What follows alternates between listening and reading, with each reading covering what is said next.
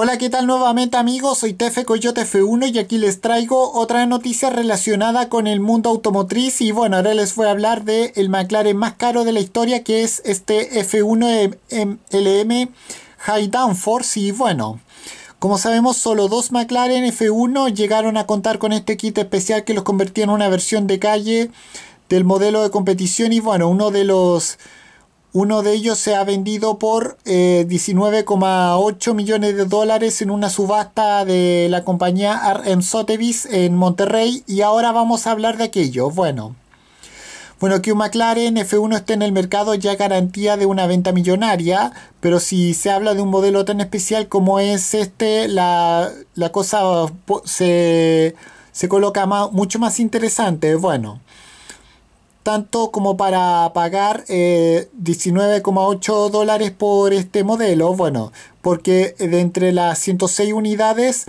se crearon de este maravilloso superdeportivo, solo dos de su versión de calle fueron evolucionados a la famosa especificación LM, que no solamente incluía una mejora en el impresionante eh, motor atmosférico V12 de BMW de 6,1 litros para alcanzar 689 caballos de fuerza, sino que añadía un, pack aerodinámico por la propia McLaren como el High Downforce Kit, eh, que se traducía eh, en una carrocería más agresiva y aerodinámica.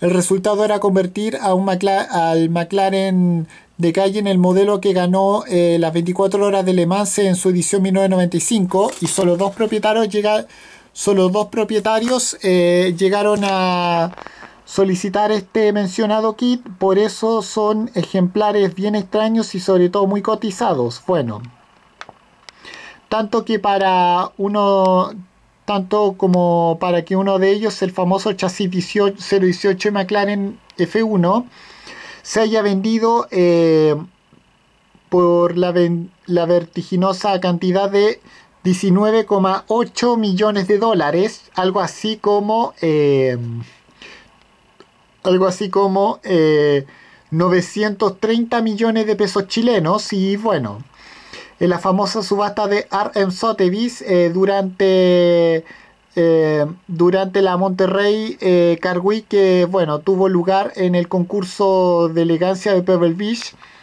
fue una cifra que si bien se ha quedado por debajo de las previsiones que hablaban incluso de cantidades entre, entre 21 a 23 millones de dólares, algo así como 29 eh, millones de pesos chilenos, ha bastado para que este impresionante modelo se haya convertido en el McLaren más caro jamás vendido, incluso más incluso que cualquier eh, modelo competición de esta histórica automotriz británica. Bueno, bueno, pero ¿de dónde viene el secreto que hace que este modelo sea diferente al resto? Bueno, eh, visualmente los cambios, eh, los cambios en su carrocería se encuentran especialmente en su enorme alerón trasero o spoiler, como quieran decirle, toma de aire más grande, especialmente en un parachoque delantero más agresivo o branquias que acompañan a unos pasos de rueda más pronunciados. Además, todo eso, la suspensión y los frenos fueron actualizados y las llantas pasaron a ser las del modelo GTR de tan solo 18 pulgadas. Bueno,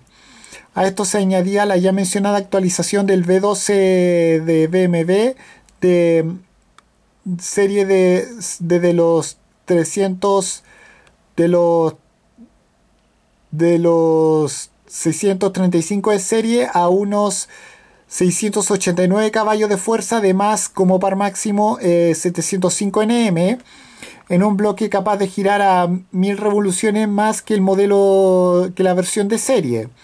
Bueno, el interior también fue remoldeado en su evolución añadiendo un lujoso acabado color crema en, tapicería de alcántara. Y curiosamente se le añadió una radio que no estaba equipada eh, en la versión de serie. Desde que salió de la fábrica en 1994, este chasis 018 solo ha hecho 21.487 kilómetros y ha pasado por algunas ocasiones por MCO para seguir casi como nuevo. Y bueno, todo ello se entiende eh, un poco más que alguien quiera pagar semejante cantidad de dinero por un auto así. Bueno, aunque por sorprendente que parezca, sí se tiene en cuenta que hace justo un año RM Sotheby's pidió por uno, por uno de estos High, High Downforce Kit 22 millones de dólares y que nunca se llegó a conocer el precio final, puede que incluso para su nuevo y afortunado dueño esta haya sido una compra rentable. Y bueno, con esto me despido. Adiós, que me fuera. Chao.